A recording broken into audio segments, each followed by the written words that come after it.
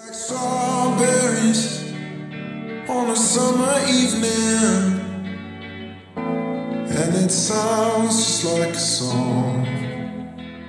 I want more berries and that summer feeling.